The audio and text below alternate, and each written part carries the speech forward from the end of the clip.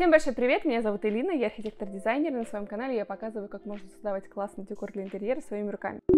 В этом видео я решила попробовать немного другой формат, более живой. У меня нет полностью готовой работы, как обычно это бывает. Я сначала завершаю проект, а потом уже снимаю к нему подводку. А, здесь у меня практически завершенная одна картина и еще две на более ранних стадиях. Я задумала сделать объемные картины. Я делала одну такую картину со складками большую еще в прошлом году, но мне хотелось больше объема, и я долго думала, как же мне добиться этого объема. И вот, собственно, получилось. Сейчас я вам все об этом расскажу. Я думала, пробовала разные варианты и остановилась на металлической сетке. У меня вот такой огромный ее моток остался еще. Можно будет много всего сделать. А, но я взяла сетку достаточно крупной ячейки, и поэтому складки могут получаться грубоватые. Я, на самом деле, когда заказывала, думала, что она меньше, потому что чертова метрическая система. Я думала, 7 на 7 миллиметров это меньше. Эта сетка, кстати, многих удивила в моей соцсети с картинками. Если хотите узнавать все секретики заранее, то подписывайтесь на меня там. Немного вернемся назад, и я покажу, с чего все начиналось. Я взяла небольшие холсты 20 на 20 сантиметров. Для того, чтобы отрезать от сетки куски нужного размера, нам нужны кусачки. Берите сразу нормальные. У меня сначала были старые ржавые, и я с ними намучилась. Потом все-таки сходила в левшу, купила нормальные кусачки, и это оказалось очень легко. Обязательно нужно защищать руки, потому что сетка колется. И мне еще писали, что предплечье тоже можно легко расцарапать этой сеткой, но у меня все было в порядке в этом плане. Видимо, кусочек был недостаточно большой.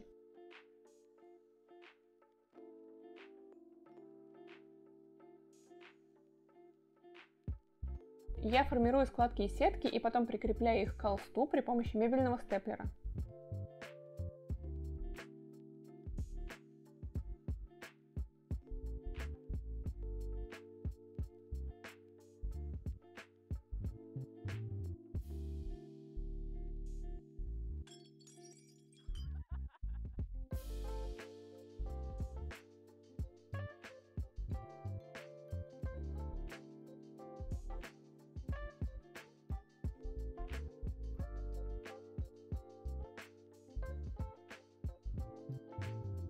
Я хотела, чтобы геометрия холста сохранилась и складки не выходили за пределы холста, поэтому я прибиваю сетку во всех плоскостях.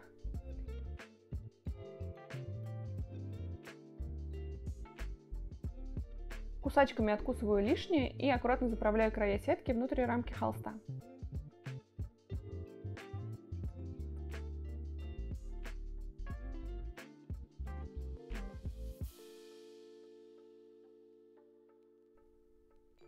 Потом при помощи пинцета формирую складки. Это можно делать любой палочкой. На этом холсте не очень хорошо видно, поэтому я покажу на другом. Я делала несколько работ параллельно, поэтому буду периодически показывать разные. Принцип везде один и тот же.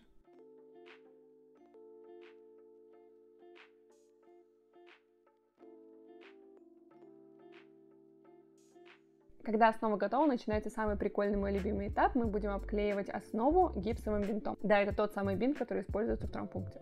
Я его разрезаю на полоски.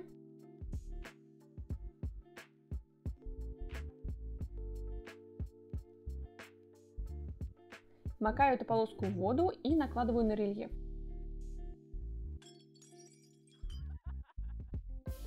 Я долго не могла понять, как делать вот эти внутренние складки, потому что бинт просто не хотел прилипать снизу на сетку, но потом я поняла, что нужно просто холст перевернуть и дать гравитации делать свое дело.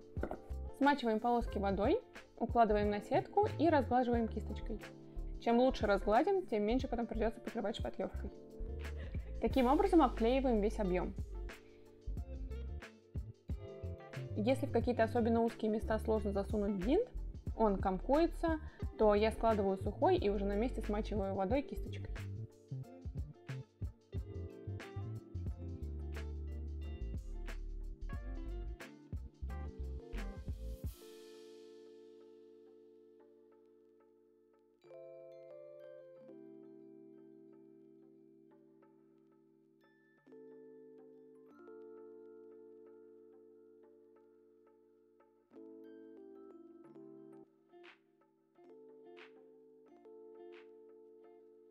И дальше мы переходим к следующему этапу покрытия картины шпатлевкой. Это самый долгий этап, потому что нужно будет шпаклевать и шкурить, шпаклевать и шкурить для того, чтобы добиться идеальной гладкости. Для первых слоев я использовала чистую шпатлевку для того, чтобы лучше разровнять рельеф, и потом уже более жидкую, разбавленную клеем ПВА.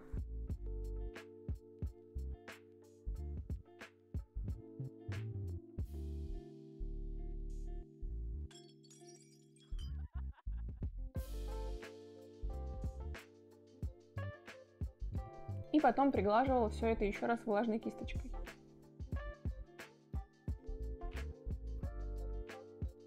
Не забываем и обратную сторону, конечно, там тоже должно быть все красиво. Когда слой высыхает, я его разравниваю грубой наждачкой. Я начинала с 40.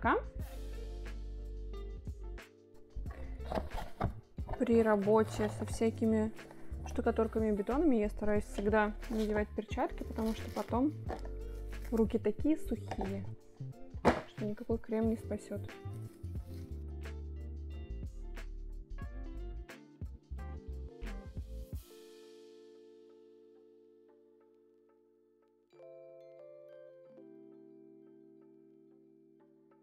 Еще покажу, какую кучу разных штук я использую для шлифовки. Здесь у меня и пилочки для ногтей, и бафики, которые мне дает мой мастер по маникюру после каждого сеанса. И просто наждачка. Я иду от 40 потом 120 потом 240 Возможно, я куплю еще какое-нибудь а, более мелкое зерно. Посмотрим.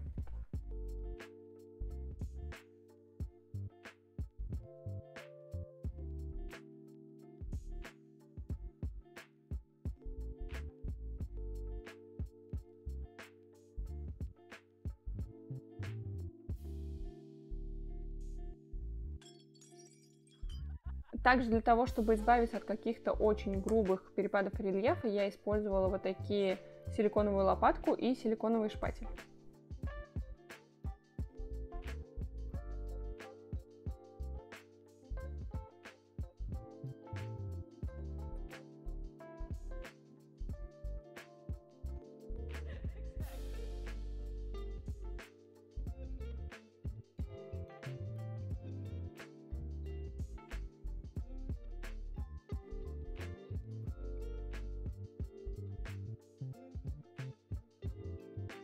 Постепенно я начинаю использовать более мелкое зерно наждачки и дохожу до 240.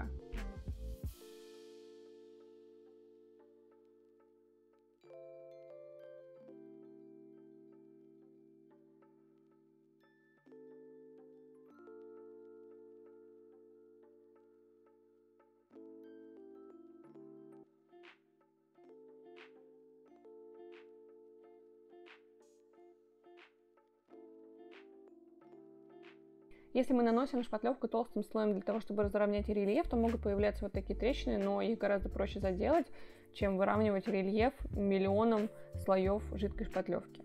Поэтому я наношу толсто и потом просто заделываю эти трещинки. Здесь она у меня не разбавленная, я просто переложила в маленькую тару, потому что у меня огромное ведро стоит на полу.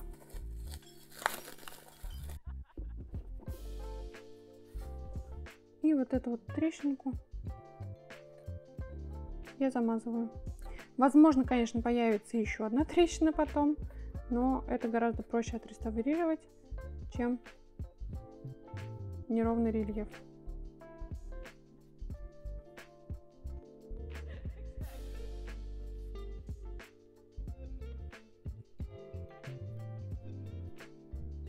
Пока камера моя перегрелась, покажу вам, как сделала крепление. Для этого я использовала вот такие крючки-саморезы. Во-первых, нужно выбрать, как будет картина висеть, если она будет висеть. Где у нее вверх, где низ. Мне кажется, вот так. И вкрутить вот такие у меня крючки. И для начала их не получится сразу закрутить, поэтому нужно их немножко вбить. Для этого я беру небольшой молоток.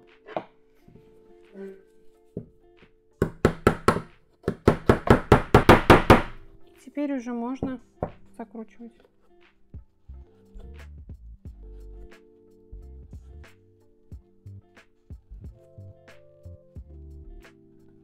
Постепенно становится сложновато. И я беру плоскогубцы.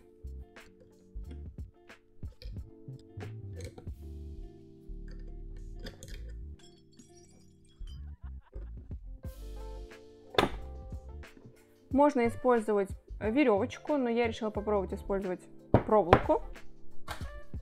Вот такой. Не помню, какой это диаметр. Так, где мои кусачки?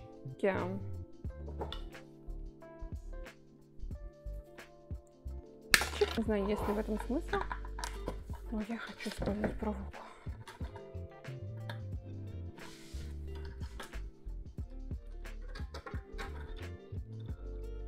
В общем, теперь это можно вешать, но сначала нужно доделать.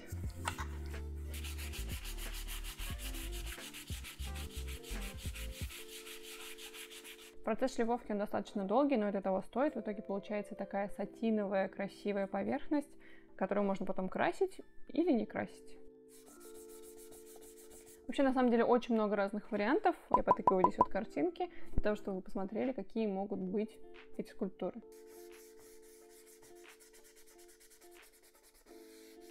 Может быть, выпустить 10-часовую версию шлифовки?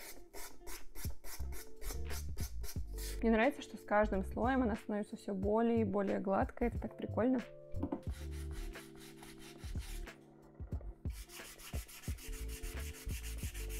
Кстати, обязательно нужно надевать маску, когда шлифуете, потому что пыль летит. Ну, я по классике вам советую, сама не пользуюсь.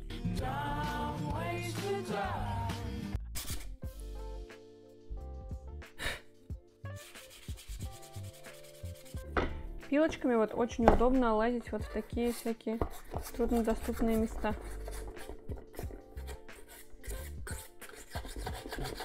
Я вроде уже как все закончила, но потом посмотрела на внутренние части, поняла, что они мне не нравятся.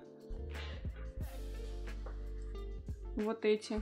Вы не обессудьте, я в своей рабочей футболке, потому что у меня уже вся одежда в пыли от этой шлифовки, так что буду снимать прям как есть процесс. И вот эти внутренние части, для них очень сложно добраться вручную, поэтому я съездила в Лерон. Купила себе вот такой гравер. Сейчас попробую пошлифовать им.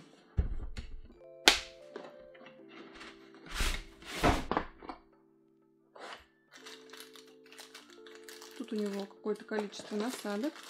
Я взяла самый дешевый, просто чтобы посмотреть, потому что у меня никогда в жизни не было такого инструмента. Посмотрим, как это будет работать.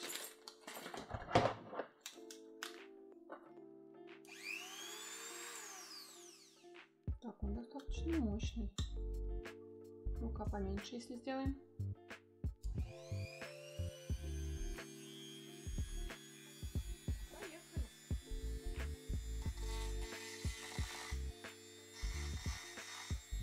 Очень сложно подбираться, конечно таким узким местам, даже с гравюром. Есть тут специальный ключик в наборе.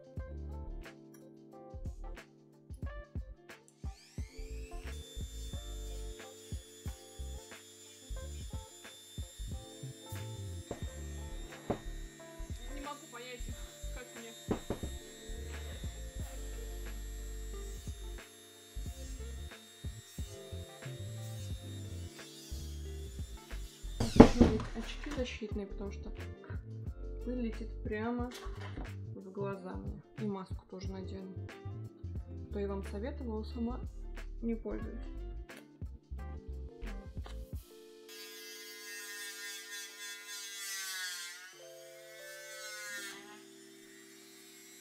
Почему ты слетел? На самом деле, в принципе, штука... Угу. На самом деле штука достаточно удобная. И какие-то грубые поверхности действительно можно ей зашлифовать, чтобы потом уже проще шлифовать вручную. Но вручную шлифовать все равно придется. Так что, мне кажется, вот в таких мелких участках можно использовать. И это достаточно удобно. Сейчас попробую вот здесь вот внутри. Не знаю, как это подснять, видно ли будет. Вот здесь внутри сделать более гладкую поверхность. У меня почему-то диск слетел. Он оторвался. Интересно.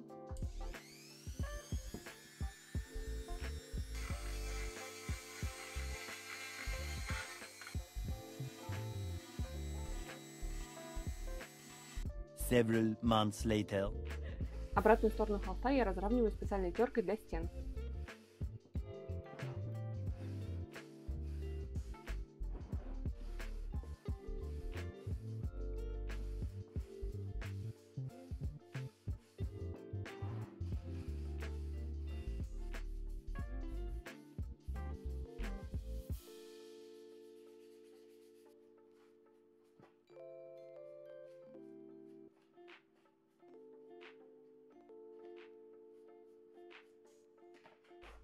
И протираю всю поверхность влажной тряпочкой.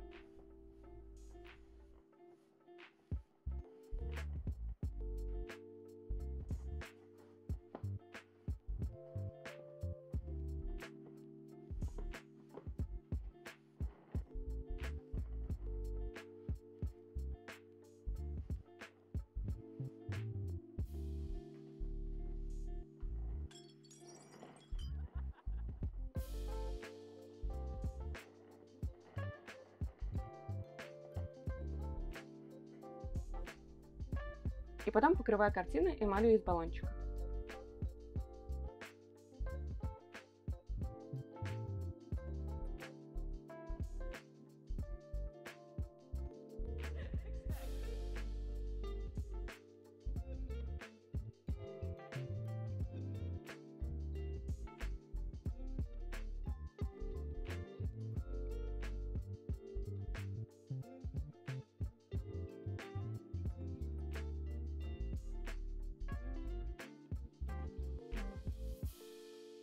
Вот такие крутые работы у меня получились. Надеюсь, что вам понравилось смотреть это видео так же, как мне понравилось делать эти картины. Обязательно подписывайтесь на мой канал и до встречи в новых выпусках.